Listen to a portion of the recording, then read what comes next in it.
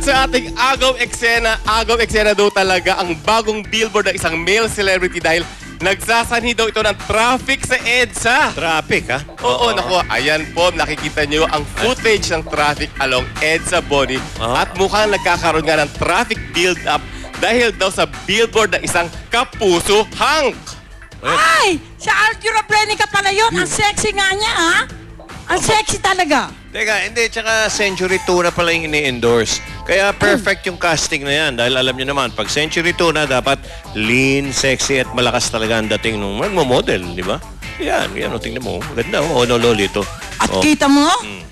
talagang di natin... Hindi, talagang kinip niya talaga yung body Hindi niyang niya pinabayaan, machete. di ba? Talagang hindi niya machete pinabayaan body pa rin kahit siya. natapos na ang serye. Oo, di ba Joey?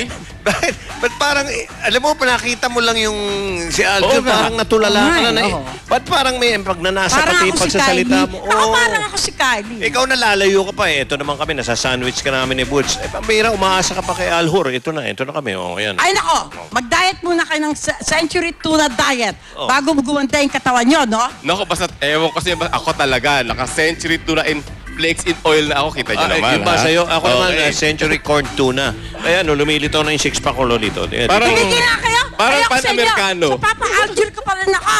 Ayaw niya sa'yo. Ganon? Oo. Naku, anyway, naku, talaga naman nakaka-intriga dahil nakasulat dun, soon a first. Ano kaya yung first na yun?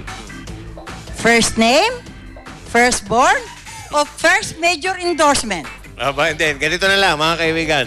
Bukas, eh, bukas. Bukas po ang Star Talk sa hula nyo kung anong first yung nasa Century Tuna billboard ni Aljur. Actually, Joey, ah, hindi na kailangan manghula pa dahil may big reveal na magaganap bukas sa Party Pilipinas. Ay, ganun ba? Tungkol sa soon a first billboard ng Century Tuna ni Aljur. So be the first to find out about it. Abangan nyo. I repeat, sa Party Pilipinas bukas yan.